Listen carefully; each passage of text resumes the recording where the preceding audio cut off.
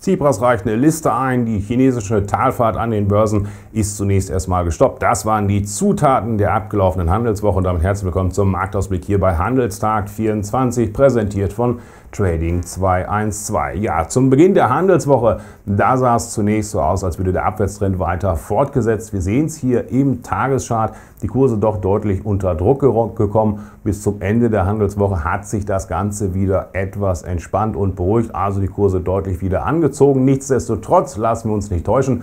Übergeordnet im Tageschart sehen wir dennoch einen Abwärtstrend momentan der DAX eher so in der Korrektur. Geht es also in der kommenden Handelswoche weiter nach unten durch unter 10.652 Zähler. Dann wäre erstmal das weitere charttechnische Kursziel auf der Unterseite bei 10.280 Punkte zu suchen. Was ist passiert in der abgelaufenen Handelswoche, dass wir diesen Schub hier nach oben bekommen haben? Zum Beginn haben wir uns ja noch Sorgen gemacht, auch um China, wie wir es letzte Woche besprochen haben. Aber der chinesische Staat, der hat interveniert. Somit ist es jetzt Großinvestoren, die mehr als 5% eines Anteils halten, verboten, für die nächsten sechs Monate diesen zu verkaufen. Zum Zweiten rund 50 Prozent der Aktien sind vom Handel ausgesetzt und am Mittwoch da wurde dann auch nochmal bekannt gegeben, dass entsprechend die Versicherer in China jetzt auch mehr Kapital in Aktien investieren können. Und das hat sich dann auch spürbar bemerkbar gemacht hier im Stundenchart. Schauen wir auch hier noch eben rein. Wir sehen es 10.660, das war das Kursziel nach unten, was wir letzte Woche auch hier besprochen haben. Der Dip dann nach unten, die Korrektur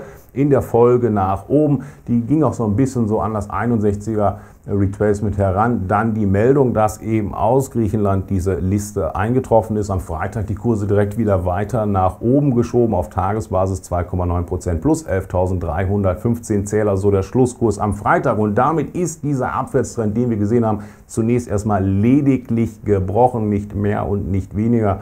Einen bestätigen Aufwärtstrend haben wir hier noch nicht, aber wir haben die erste Unterstützung mit dem 50er Retracement dieser letzten Bewegung von eben 6,52 bis 11,340 am Freitag in der Spitze bei 10.996 Zähler. Sollten wir also Korrektur bekommen und dann wieder nach oben durchschieben, ja, dann waren schon die nächsten Widerstände. Zum einen die Kurslücke vom 26. auf den 29. Juni und dann der dickere Brocken, wie auch im Tageschart besprochen, bei 11.594 bis 11.635 Zähler. Auf der Unterseite sehen wir es identisch wie im Tageschart. Neben dem Gezeter um Griechenland gibt es auch in der kommenden Handelswoche wieder entsprechende Konjunkturdaten. Kleine Auswahl mal mitgebracht. Dienstag um 11 Uhr ZDW-Konjunkturerwartungen Mittwoch. Das könnte allerdings dann doch ein bisschen interessanter sein, dass viel mehr Anleger da drauf schauen als sonst. Denn da gibt es dann Daten aus China zum Bruttoinlandsprodukt zum zweiten Quartal. Donnerstag dann 13.45 Uhr EZB Zinsentscheid und um 14.30 Uhr dann